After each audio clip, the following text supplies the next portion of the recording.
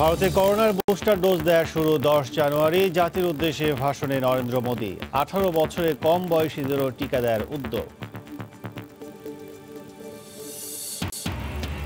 বাংলাদেশ মালদ্বীপ সরাসরি বিমান চালু হয় কমেছে ভোগান্তি, সন্তুষ্ট প্রবাসীরা। পণ্য আমদানি রফতানিতে সরাসরি জাহাজ চলাচলের দাবি। কলকাতায় বাংলাদেশের নতুন ভিসা আবেদন কেন্দ্র চালু, মিলছে নানা সুবিধা। ভোট থেকে দিতে হবে না আর লম্বা লাইন। খুশি সেবা প্রত্যাশীরা। এবং মহাকাশ যাত্রার মাধ্যমে ইতিহাস গড়ল সবচেয়ে ক্ষমতাশালী টেলিস্কোপ জেমস ওয়েব মহাশূন্য গবেষণায় নতুন মাইল ফলক, বলছেন বিজ্ঞানীরা।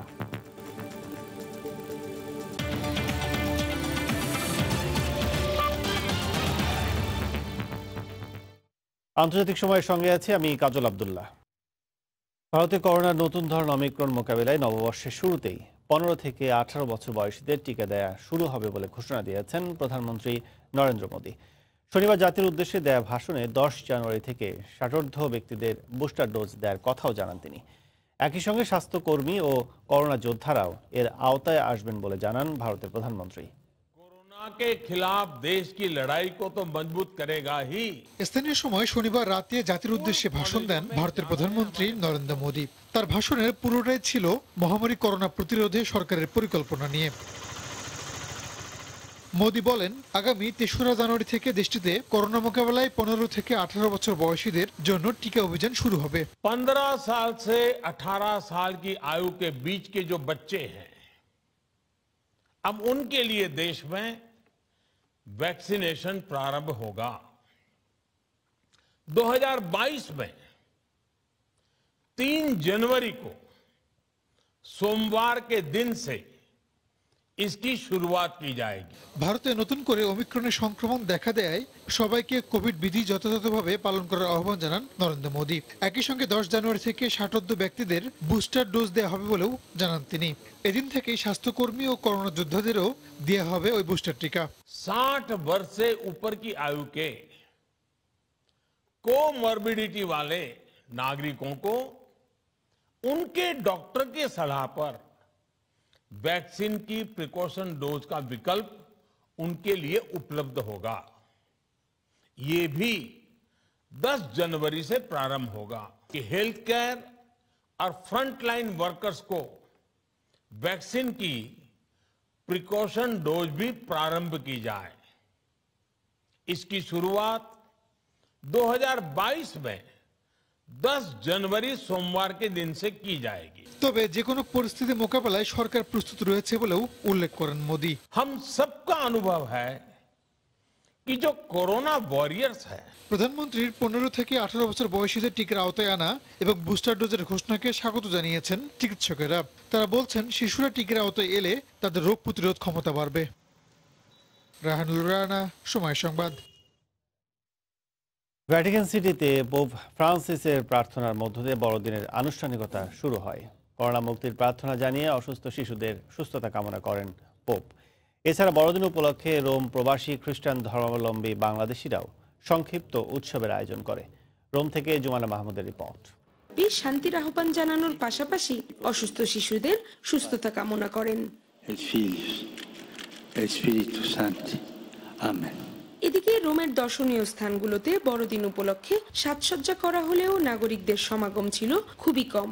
তবে বাংলাদেশি খ্রিস্ট ধর্মের নাগরিকরা রোমে ছোট আকারে উৎসবের আয়োজন করে। প্রবাসীরা বড়দিনের শুভেচ্ছা জানানোর পাশাপাশি করোনা মুক্তির প্রার্থনাও করেন।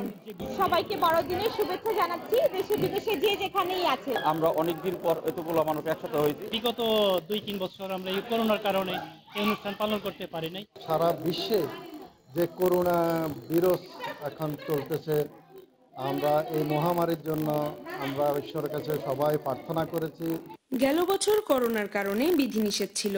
এবার লকডাউন বা রেড জোন না থাকলেও ওমিক্রনের আতঙ্ক এবং করোনা বৃদ্ধিতে কোথাও বড় ধরনের উৎসব চোখে পড়েনি। রোমের বাইরের শহরগুলোতেও ছিল একই অবস্থা।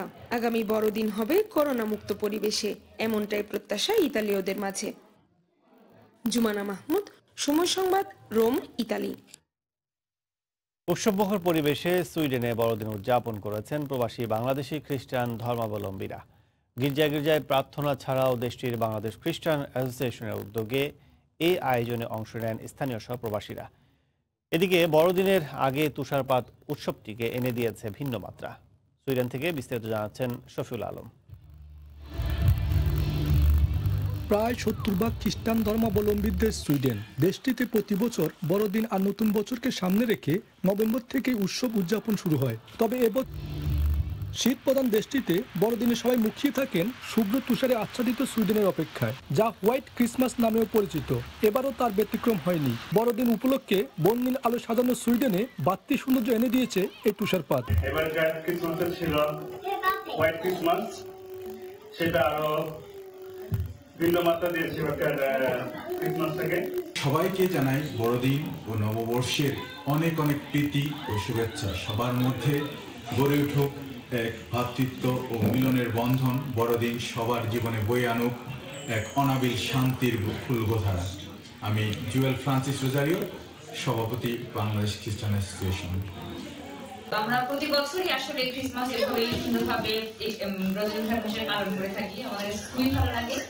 এবং আমরা আসলে খুবই এনজয় করছি। এদিন বিশেষ প্রার্থনায় সবাই প্রত্যাশা করেন করোনামুক্ত সুন্দর নির্মল পৃথিবীর। শফিল আলম সময় সংবাদ সুইডেন। করোনার নতুন ভ্যারিয়েন্ট অমিক্রনের মধ্যে ফ্রান্সে উদযাপিত হয়েছে খ্রিস্টান ধর্মাবলম্বীদের সবচেয়ে বড় ধর্মীয় উৎসব বড়দিন। দেশের উন্নতি শান্তিময় বিশ্ব আর করোনা থেকে মুক্তির জন্য যীশু খ্রিস্টের কাছে প্রার্থনা জানিয়েছেন খ্রিস্টান ধর্মাবলম্বীরা। ফ্রান্স থেকে আরও জানাচ্ছেন মোহাম্মদ লুৎফুর রহমান বাবু। প্রভাব সেটার জন্য আমরা অতি পরিসরে করতে পারিনি যদিও। কিন্তু আমরা ঈশ্বরের কাছে আজকে প্রার্থনা করেছি তিনি যেন আমাদের করোনা থেকে মুক্ত করেন। করোনার পরে এবার আয়োজনটা ছিল এবং আমাদের উৎসাহ ছিল অন্যরকম একটা। তো সেই হিসাবে সবাই অংশগ্রহণ করেছে। বড়দিনে সাধারণত আমরা প্রভু যীশু খ্রিস্টের শান্তি আনন্দ ভালোবাসা আমাদের জীবনে কামনা করি। সারা পৃথিবী যেন আবার যীশু খ্রিস্টের এই নব উৎসবে সুন্দর রূপে রূপ ধারণ করতে পারে। আমরা আশা করি যে আগামী বছর সবাই সব সবাই একসাথে মিলন হতে পারব এবং আবার উৎসব করতে পারব। শান্তিময় পৃথিবী সেই সাথে আগামী বছর জন্য আরও ঝমকালো ও উৎসবের সাথেই এই বড়দিন উদযাপন করা যায় এমন প্রত্যাশার কথাই জানিয়েছেন খ্রিস্টান ধর্মাবলম্বীরা। ফ্রান্সে প্যারিস থেকে মোহাম্মদ লুৎফুন বাবু সময় সংবাদ। কমপক্ষে দুটি দেশের ইমিগ্রেশন পেরিয়ে বাংলাদেশে আসতে হতো মালদ্বীপের বাংলাদেশি প্রবাসীদের। একই সঙ্গে কষ্টার্জিত টাকাও খরচ করতে হতো বেশি। ভোগান্তি এড়াতে কোনোভাবেই বাংলাদেশ বিমানের ফ্লাইট চালু করা সম্ভব হয়নি বলে জানায় মালদ্বীপ হাই কমিশন। তবে সম্প্রতি বেসরকারি বিমান ব্যবস্থাপনায় প্রবাসীদের মিলেছে স্বস্তি, সাশ্রয় হয়েছে অর্থ, এমনটাই বলছেন সংশ্লিষ্টরা। মালদ্বীপ ঘুরে এসে বিস্তারিত দেখুন আমার করা রিপোর্টে। ভারত মহাসাগরের দক্ষিণ পূর্ব এশিয়ার নয়নাভিরাম দেশ মালদ্বীপ। বাংলাদেশ থেকে যেতে আকাশপথেই সময় লাগে প্রায় চার ঘণ্টা। দেশটিতে বাংলাদেশির সংখ্যা প্রায় এক লাখ। কিন্তু কোনো বাংলাদেশি সরাসরি যেতে পারতেন না মালদ্বীপে। ট্রানজিট পয়েন্ট হিসেবে, আকাশপথে যাতায়াত মাধ্যম হিসেবে ব্যবহার করতে হতো কাতার বা চেন্নাইয়ের ইমিগ্রেশন। এর ফলে অতিরিক্ত সময় অর্থ ব্যয় হতো যাত্রীদের। তবে গত নভেম্বর থেকে বেসরকারি ব্যবস্থাপনায় ঢাকা, মালদ্বীপ, ঢাকা রুটে ফ্লাইট চালু হওয়ায় প্রবাসী ও পর্যটকদের দীর্ঘদিনের চাওয়া পূরণ হয়েছে বলে মত সংশ্লিষ্টদের। এটা অনেক দিনের একটা দাবি ছিল বা এখানে যারা বাঙালি কমিউনিটি আছে, তাদের আসলে ডিরেক্ট ফ্লাইটের একটা দাবিটা ছিল। সেই দাবিটা পূরণ করার জন্য বাংলা এয়ারলাইন্স গত উনিশ তারিখ থেকে সাতটা তিনটা ফ্লাইট পরিচালনা শুরু করেছে। ফ্লাইট সংখ্যা বৃদ্ধি করার জন্য অলরেডি চিন্তা আমরা শুরু করেছি। এখানে দেখেন আমরা ফ্লাইটের যে ভাড়া এবং সময় দুইটাই আসলে সাশ্রয় হয়ে যাচ্ছে। এক যুগ ধরেও অনেক বাংলাদেশি বসবাস করছেন মালদ্বীপে কিন্তু এতদিনেও গড়ে ওঠেনি সরকারিভাবে কোনো যাতায়াত ব্যবস্থা। বাংলাদেশ হাই কমিশন বলছে নানা প্রচেষ্টার পরও সরকারি বিমান সংস্থার ফ্লাইট চালু সম্ভব হয়নি। বাংলাদেশ বিমানের পিছনে আমরা অনেক প্রচেষ্টা এবং সময় দিয়েছি। দুঃখজনকভাবে সেটা সফল হয় নাই। ইউএস বাংলা তারা এখানে একটি রেগুলার ফ্লাইট চালু করার চালু করতে পেরেছে। প্রবাসীদের জন্য যেটা সরাসরি যেটা উপকার হয়েছে, যেই টিকিটের দাম মালদ্বীপিয়ান এয়ারলাইন্সে পঞ্চাশ হাজারের উপরে ছিল ইউএস বাংলা চালু হওয়ার সাত দিনের মধ্যে সেটা পঁয়ত্রিশ হাজারের নিচে চলে আসছে। সাগরপথে পর্যটনের উন্নয়ন এবং দুদেশের মধ্যে ব্যবসায়িক সম্পর্ক গড়ে তুলতে শিগগিরই জাহাজ চলাচল শুরু করার দাবি ব্যবসায়ীদের। কাজল আবদুল্লাহ, সময় সংবাদ, মালদ্বীপ। কলকাতায় চালু হয়েছে বাংলাদেশের নতুন ভিসা আবেদন কেন্দ্র। এতদিন বাংলাদেশ গমনের ইচ্ছু ভারতীয়দের ভিসার জন্য যেতে হতো বাংলাদেশ উপদূতাবাস ভবনে। ভোর থেকে দিতে হতো লম্বা লাইন। তবে বিশ ডিসেম্বর থেকে বেসরকারি ব্যবস্থাপনায় ভিসা আবেদন কেন্দ্রটির ঠিকানা হয়েছে সল্ট লেকের সেক্টর ফাইভে বিশ্বজিৎ দাসের ক্যামেরায় আরও জানাচ্ছেন সুব্রত আচার্য। ভোর থেকে প্রতীক্ষার দীর্ঘ লাইন, আগে পরিকাঠামো সংকট সহ দালাল চক্রের মতো নানা ভোকান্দির মধ্য দিয়ে বাংলাদেশে যেতে ইচ্ছুক ভারতীয়দের ভিসা পেতে হতো। অনেক সময়, নির্ধারিত সময়ের পরেও মিলত না ভিসা। সার্ভারের সমস্যা, পর্যাপ্ত জনবল না থাকা সহ বিভিন্ন কারণে প্রায়ই ভোগান্তি পোহাতে হতো তাদের। এখন এসব তিক্ত অভিজ্ঞতা অনেকের কাছেই স্মৃতি হয়ে যাবে। প্রায় তেরো হাজার বর্গফুট জায়গা নিয়ে যাত্রা শুরু করেছে আধুনিক ভিসা আবেদন কেন্দ্র। দশটি কাউন্টারে ভিসা গ্রহণ এবং প্রদানের সুবিধা দেওয়া হচ্ছে। ভিসা প্রত্যাশীদের জন্য রয়েছে সার্বক্ষণিক সহযোগিতা কেন্দ্র। এরই মধ্যে নতুন ভিসা আবেদন কেন্দ্রের সুফল পেতে শুরু করেছেন প্রত্যাশীরা। কাজকর্মগুলা ঘর দুয়ারগুলা দেখতে খুব সুন্দর লাগছে। ইটস ভেরি নাইস পিপল আর ভেরি ফ্রেন্ডলি ঢুকতে না ঢুকতেই আমি তাড়াতাড়ি সব কিছু হয়ে গেল কোনো অসুবিধাও হলো না। এভরিথিং ইজ অ্যাভেলেবল ইয়ার আমাদের কুরিয়ার আছে আমাদের ফটোকপি আছে আমাদের ক্যাফেটেরিয়া ফ্যাসিলিটি আছে। আর আপনাকে ওয়েট করতে হবে না যেটা আপনাদের টাইম লিমিট আছে নটা থেকে তিনটে অবধি। তো কখনো আপনি যে পাচ্ছেন উইদাউট এনি অ্যাপয়েন্টমেন্ট আপনি আসবেন আপনার সঙ্গে সঙ্গে আপনার ভিসাটা চলে যাবে। সরকারি ব্যবস্থাপনার বাইরে হঠাৎ কেন এই বেসরকারি সংস্থার হাতে ভিসার আবেদন কেন্দ্র ছাড়া হলো? এ ব্যাপারে ব্যাখ্যা দিলেন কলকাতায় বাংলাদেশের ডেপুটি হাই কমিশনার। দীর্ঘদিন ধরেই এই মানে এটা অনুভূত হচ্ছিল যে এরকম একটা সেট আমাদের করা দরকার। এটা আমরা যে করতে পেরেছি আমরা সত্যি খুবই আনন্দিত। বাংলাদেশের নতুন ভিসা আবেদন কেন্দ্রের দেয়ালে দেয়ালে এখন শোভা পাচ্ছে বাংলাদেশ বঙ্গবন্ধু মুক্তিযুদ্ধ এবং স্বাধীনতার ইতিহাস। সরকারি ব্যবস্থাপনার বাইরে এই প্রথম। বাংলাদেশে গমনেচ্ছুক ভারতীয়দের জন্য এই ভিসা ব্যবস্থাপনা কিন্তু দেয়া হয়েছে বেসরকারি হাতে। এখন সময় বলবে আধুনিক পরিষেবা দেওয়ার ক্ষেত্রে এই ভিসা আবেদন কেন্দ্রটি কতটা সময় উপযোগী হয়ে উঠল। কলকাতার নতুন বাংলাদেশের ভিসা আবেদন কেন্দ্র থেকে সুব্রত আচার্য, সময় সংবাদ। খ্রিস্টান ধর্মাবলম্বীদের বড়দিনের লম্বা ছুটির শুরুতে আবারও রেকর্ড করোনা সংক্রমণে অনেকটা পথহারা অস্ট্রেলিয়া। দেশটিতে গত দুদিনে আক্রান্ত হয়েছেন প্রায় বিশ হাজার মানুষ। অনেক প্রবাসী বাংলাদেশিরও আক্রান্ত হওয়ার খবর পাওয়া গেছে। অস্ট্রেলিয়ার করোনা পরিস্থিতির খবর জানাতে সিডনি থেকে যোগ দিচ্ছেন সহকর্মী এস এম আমিনুর রুবেল। রুবেল। ধন্যবাদ, কাজল। যেমনটি বলছিলেন যে অস্ট্রেলিয়া সরকার কিছুটা এই মুহূর্তে দিশেহারা। আমি আজ সিডনি থেকে একশো পঁয়ষট্টি কিলোমিটার দূরে নিউ ক্যাসেল শহরের কাছাকাছি একটি জায়গায় এসেছি এবং নিউ ক্যাসেল একটি এমন একটি শহর যে সিডনির আশেপাশে যে বড় আরও দুটি শহর, ক্যানবেরা এবং ওলঙ্গন নিউ ক্যাসেল তাদের মতো একটি শহর এবং অত্যন্ত জনপ্রিয় এবং সুন্দর একটি শহর। সিমসাম শহর, এখানে কিন্তু জনসংখ্যা খুব বেশি নয়, তবে প্রচুর বাংলাদেশি কিন্তু এখানে গত কয়েক বছরে বসবাস করতে শুরু করেছে এবং আপনারা জানেন যে প্রচুর বাংলাদেশি শিক্ষার্থী কিন্তু এখানে পড়াশোনা করতে এসেছে এবং অনেকে কিন্তু ব্যবসা প্রতিষ্ঠান দিয়ে চাকরি দিয়ে এখানে স্থায়ীভাবে বসবাস করতে শুরু করেছে। এদের অনেকে কিন্তু একটি সময় তারা সিডনিতে বসবাস করত। তো যেমনটি বলছিলেন যে বাংলাদেশিদের কিন্তু করোনা সংক্রমিত হওয়ার খবর পাওয়া গেছে। অনেকগুলো পরিবার, আমার চেনা পরিচিত অনেকগুলো পরিবার এছাড়া আমাদের কাছে খবর এসেছে নিউজের মাধ্যমের মাধ্যমে যে এখানে করোনা সংক্রমিত মহাকাশ যাত্রার মাধ্যমে ইতিহাস গড়ল বিশ্বের সবচেয়ে ক্ষমতাশালী টেলিস্কোপ জেমস ওয়েব।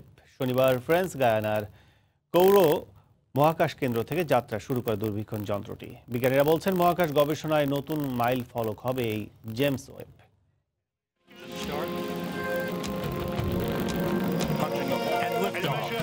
শনিবার নতুন এক ইতিহাসের সাক্ষী হল দক্ষিণ আমেরিকার ফ্রেঞ্চ গায়ানার কৌর মহাকাশ কেন্দ্র।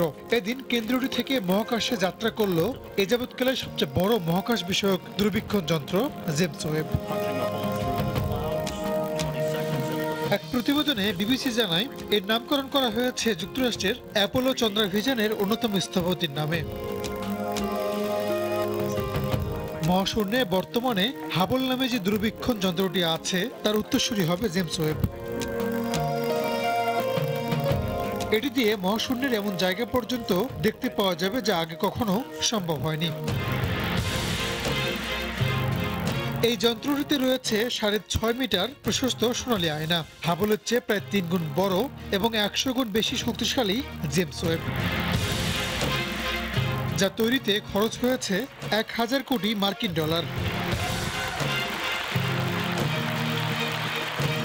যন্ত্রটি দিয়ে দূরে অবস্থিত গ্রহগুলোর বায়ুমণ্ডল আবহাওয়া সম্পর্কেও ধারণা পাওয়া যাবে। এমনকি বিগ ব্যাং থিওরির অনুসন্ধানও হবে জেমস দিয়ে। এই দূরবীক্ষণ যন্ত্রটি তৈরিতে নেতৃত্ব দিয়েছে মার্কিন মহাকাশ গবেষণা সংস্থা নাসা। এছাড়াও কাজ করেছে ইউরোপ ও কানাডার মহাকাশ গবেষণা সংস্থার প্রকৌশলীরা। তারা বলছেন, যে কক্ষপথে যন্ত্রটি স্থাপিত হবে, তা পৃথিবী থেকে পনেরো লাখ কিলোমিটার দূরে অবস্থিত, যেখানে তাপমাত্রা হচ্ছে মাইনাস দুশো তেত্রিশ ডিগ্রি সেলসিয়াস। রাহানুল রানা, সময় সংবাদ। রাস্তা কিংবা রেল লাইন, উভয় পথেই চলবে বাস। শুনে অবাক মনে হলেও এমন এক বাসই চালু করতে যাচ্ছে জাপান। বাস ও ট্রেনের সমন্বয়ে তৈরি এই গাড়ি একই সঙ্গে রাস্তা এবং রেল লাইনে চলতে সক্ষম। একই সঙ্গে সাধারণ রাস্তায় ও রেল লাইনে চলছে যাত্রীবাহী বাস। শনিবার জনসাধারণের জন্য উন্মুক্ত করে দেওয়া হবে এই ডুয়েল মোড গাড়িটি। জাপানের তোকুশিমা প্রিফেকচারাল শহর কাইগোতে প্রথম যাত্রা করবে এই গাড়ি। মিনিবাসের মতো দেখতে এই গাড়ি প্রচলিত সাধারণ রাস্তায় চলার সময় রাবারের টায়ারে চলে। আবার ইন্টারচেঞ্জ স্টেশনে পৌঁছার পর গাড়ির নিচ থেকে স্বয়ংক্রিয় স্টিলের চাকা বেরিয়ে আসে এবং রাবারের চাকা ভেতরে ঢুকে যায়। এটি এমন একটি যান যা একই সাথে রেলপথ ও সড়ক পথে চলতে পারে। সাধারণ যানবাহন শুধু সড়ক বা রেলপথেই চলতে পারে কিন্তু এটি সবার জন্যই উপকারে আসবে। এটি একটি খুব ভালো গণপরিবহন হবে। দু হাজার দুই সাল থেকে এই ডুয়েল মোড যানবাহনের প্রযুক্তি নিয়ে কাজ করছে জাপান। বর্তমানে প্রযুক্তিটি আশা কোস্ট রেলওয়ে নামক প্রতিষ্ঠান দ্বারা পরিচালিত হচ্ছে। অবশেষে দীর্ঘ অপেক্ষার অবসান হতে চলেছে। জনসাধারণের জন্য উন্মুক্ত করে দেওয়া হচ্ছে নতুন প্রযুক্তির এই বাস। প্রতিষ্ঠানটি বলছে, ডুয়েল মোডের এই গাড়িটি একুশ জন যাত্রী পরিবহনে সক্ষম। সাধারণ রাস্তায় ঘন্টায় একশো কিলোমিটার এবং রেল লাইনে ঘন্টায় ষাট কিলোমিটার বেগে চলতে পারে। গ্রামীণ বয়স্ক মানুষদের জন্য এই গাড়িটি সুবিধাজনক হবে বলে আশা নির্মাতা প্রতিষ্ঠানের। রবিউল ইসলাম আওলাদ, সময় সংবাদ। জানিয়ে দিচ্ছি আন্তর্জাতিক সময়ের শিরোনামগুলো। ভারতে করোনার বুস্টার ডোজ দেয়া শুরু দশ জানুয়ারি। জাতির উদ্দেশ্যে ভাষণে নরেন্দ্র মোদী আঠারো বছরের কম বয়সীদের টিকা দেওয়ার উদ্যোগ। বাংলাদেশ মালদ্বীপ সরাসরি বিমান চালু হয়, কমেছে ভোগান্তি, সন্তুষ্ট প্রবাসীরা। পণ্য আমদানি রপ্তানিতে সরাসরি জাহাজ চলাচলের দাবি।